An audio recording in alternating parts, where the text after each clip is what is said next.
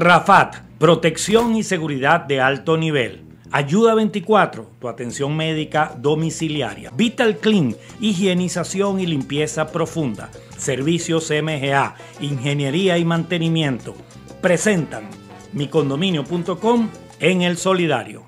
La señora Marta desde el municipio Sucre nos escribe a info@micondominio.com y nos pregunta que si es correcto que algunos copropietarios en momentos de lluvia o, no están paseando a sus mascotas en las áreas comunes, inclusive en el estacionamiento, dentro de las áreas del estacionamiento y los jardines, y sin tomar ninguna previsión, que si eso es lo correcto y nos consulta, nos pregunta qué puede hacer.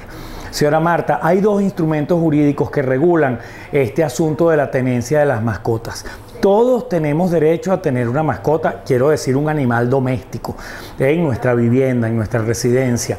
Tener ese derecho comporta unos deberes. O sea, nosotros nos vamos a ver eh, con unas obligaciones por tener esa mascota. Lo mismo le sucede a los vecinos de usted. Pueden tener mascotas, sí, porque hay una ley, la ley de protección de la fauna doméstica libre y en cautiverio, que protege ese derecho y protege a las mascotas, pero protege el derecho que tenemos los ciudadanos a tener una mascota y de inmediato nos asigna unos deberes, so pena, si los incumplimos, podemos ser sancionados. Todos esos procedimientos que están previstos en la ley, que es un instrumento nacional, deben ser ejecutados por el gobierno municipal. Todas esas acciones, lo dice la propia ley. Debe ser la alcaldía la que tenga una oficina, un despacho para atender los temas de convivencia derivados de la tenencia de las mascotas, el abuso contra las mascotas, el abandono, todo este tipo de asuntos. Pero además de la ley, la ordenanza de convivencia ciudadana que está vigente en casi todos los municipios de Venezuela es muy clara. También nos da el derecho de tener una mascota y nos asigna unos deberes. Uno de esos deberes es que cuando nuestras mascotas, cuando las estamos paseando, deben tener por supuesto su cadena, deben estar identificadas, deben tener Además del collar, deben tener el paseador o la cadena, no pueden estar sueltos, los dueños no las pueden tener y simplemente llamarlas cuando venga alguien o cuando venga otro propietario con su perro, tienen que estar amarrados, tienen que, estar, tienen que ir caminando al ritmo de su amo y el amo, si es un terreno baldío, si es un área verde, pues lo puede soltar, puede estar allí. Un terreno baldío, quiero decir que no sea dentro del, del ámbito del edificio. Ahora, si estamos en las áreas comunes, todo lo que su mascota haga es de su absoluta responsabilidad. Si hace pipí, si hace pupú, la mascota, el propietario tiene que ver cómo lava esa superficie o cómo recoge los excrementos del animal.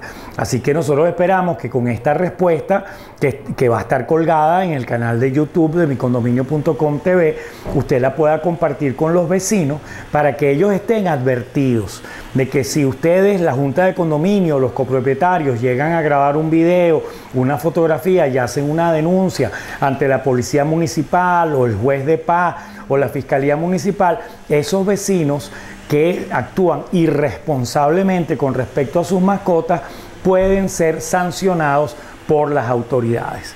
Esperamos, vecina Marta, haberla atendido de manera apropiada eh, ya sabe, estamos a la orden en info.micondominio.com. Este caso estará colgado en micondominio.com TV, nuestro canal en YouTube. Y aprovecho para invitarla a sintonizar de lunes a viernes de 8 a 10 de la mañana por www.radiocomunidad.com nuestro programa micondominio.com en la radio. Vecinas, vecinos de este gran condominio que se llama Venezuela, hasta una próxima oportunidad.